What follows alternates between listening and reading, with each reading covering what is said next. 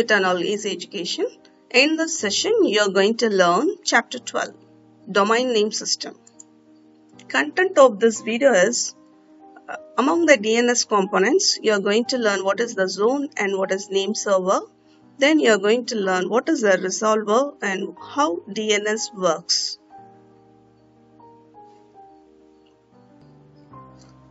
What is a name server? The information which needs to be stored in domain namespace is quite large. That means the domain namespace represents the IP address. Among that, uh, if it is a website, a content is to be going to be stored. Single system would be inefficient and insufficient to store such a huge amount as responding to requests from all over the world. It also becomes unreliable because in case of any failure, the data becomes inaccessible. So maintaining is tough and if, it, if there is any loss, uh, retrieving the data also very tough. The solution to this problem is to distribute the information among many computers. So the best way to do this is to divide the entire space into many domains and subdomains.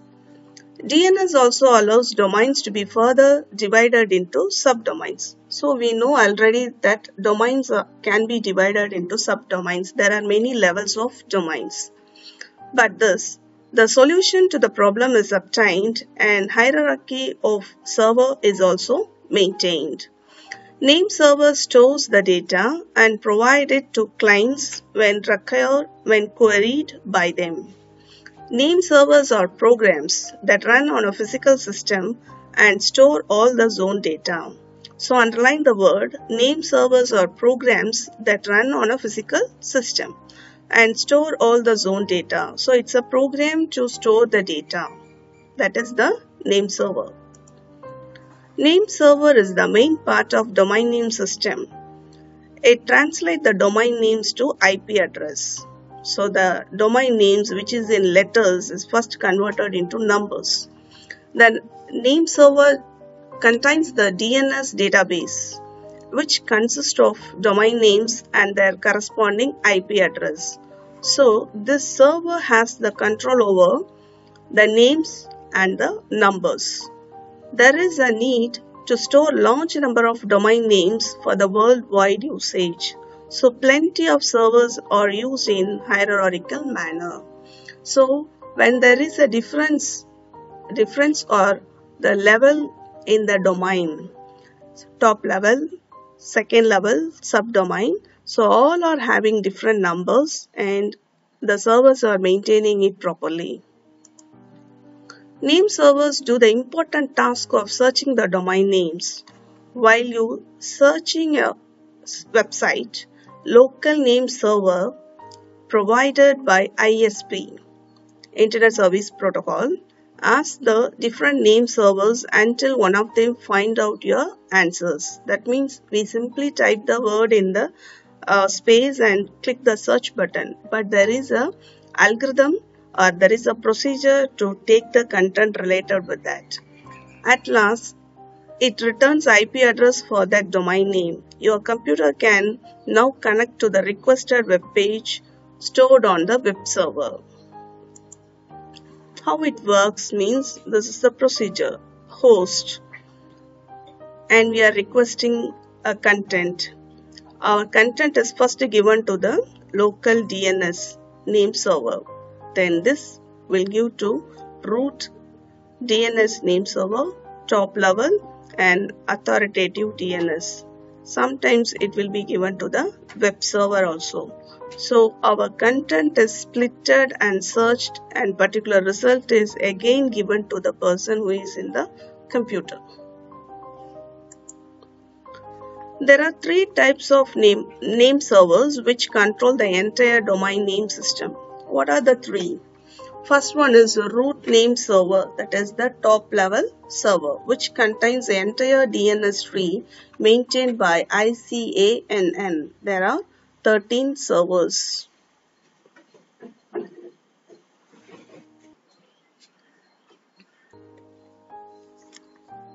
So the maintained by ICANN, that is Internet Corporation for Assigned Name and Numbers. So they are the uh, respon- responsible organization to frame the domain name. Next one is the primary or master name server. Contains a zone resource records. These records are updatable by domain name holders such as organizations. Next one is secondary or slave name contains a copy of primary server files. This server has no authority to update but reduce the workload of master server by sharing the queries. So first one is the uh, top level server. Next is the master. Next is the uh, photocopy which is not able to change that is slave or secondary server. And what is zone? First we learned what is namespace. Next we learned name server. Now we come to the point zone. The entire namespace is divided into many different zones. It is the area up to which the server has access. So if it is a root, then there is a hierarchy. Here, a collections of nodes. Altogether, it is said to be a zone and domain. So zone is defined as a group of uh, contiguous domains and subdomains. If zone has a single domain, then zone and the domain are same. So it's the area up to which the server has access. So zone represents the space or the area up to which zone up to which the uh, server has the access. Every zone has the server which contains a database called zone file. So using the zone file, the DNS server replies to the queries about hosts in its zone. There are two copies of zone files available. One is master file, another one slave file. So we learned this. Master file can be updatable, slave file cannot be updated.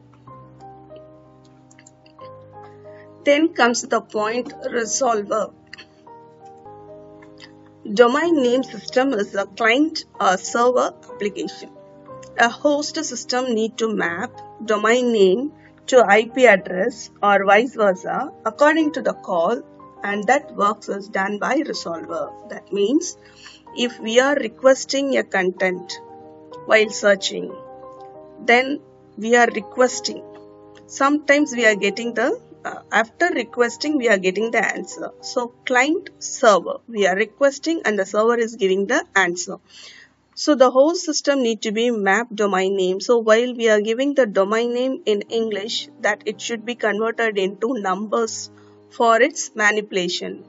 So then after the uh, result or after searching a particular content the result should be given to the person who asked. That means the client. So while returning the answer also the client is a uh, IP ad address again and the particular result should be given to the client again. So there is a conversion of domain name to IP address again IP address to domain name. So this is done by the resolver. Resolver either asks server to provide information about IP address if it does not find any information, then it sends the request to other servers and so on. As we know, the server is splitted and it is subdivided. Each place the content is given and request is done. From that, the answer is retrieved. Once the resolver receives the mapping, it checks whether it is an error or resolution and provides result according to that. A resolver is a program which is responsible for initiating the translation of a domain name into a IP address. So this is the important work of resolver. Since a resolver is stored in the host, there is no need of any protocol to form a connection between the resolver and the user program. So it is inbuilt. While we are typing your website in the URL and uh, pressing the search button, automatically the resolver will convert and it doing its function. how the domain name system works. When, uh, when the user enters the URL consists of protocol, domain, domain name, folder name and file name. That is the four parts of URL in the browser. That means if you are typing a website or any of the address, the system first checks its DNS cache for corresponding IP address. If the IP address is found in the cache, then the information is retrieved from the cache memory. If not, then the system needs to perform DNS query that is, the system needs to query the resolver, resolver about the IP address from internet service provider. So if it is if the server is not able to get the information from the cache memory, it will ask the resolver for the conversion through the ISP internet service provider. Each resolver has its own cache and it and if it is found in that that then that information is retrieved. So if the resolver is able to found in its cache itself, it will give the answer. Or else, if not, then the query is passed to next domain. Likewise, the uh, search will move from one place to another place in a hierarchical manner.